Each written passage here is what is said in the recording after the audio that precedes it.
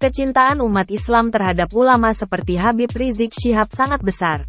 Sebab Habib merupakan seorang ulama yang banyak ilmunya, memiliki pengetahuan dan pemahaman yang mendalam tentang ajaran agama Islam.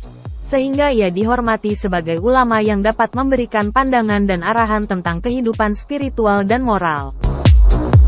Habib juga dikenal sebagai seorang pemimpin umat, pencerah, penyadar dan pejuang yang memperjuangkan hak-hak umat Islam membela nilai-nilai Islam dan keislaman, berani mengkritik berbagai kebijakan yang dianggap merugikan umat Islam.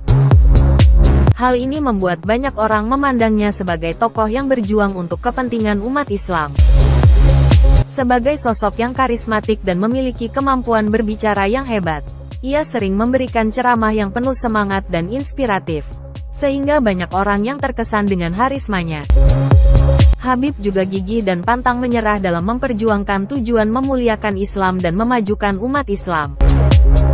Ia telah menghadapi berbagai rintangan dan tantangan dalam perjuangannya, termasuk melawan kebijakan pemerintah dan tindakan represif dari aparat keamanan. Namun ia tetap teguh pada keyakinannya dan terus berjuang.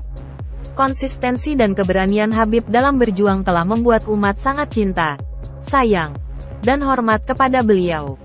Tetapi mereka yang berkuasa menganggap Habib sebagai musuh yang harus dihabisi dengan memenjarakannya.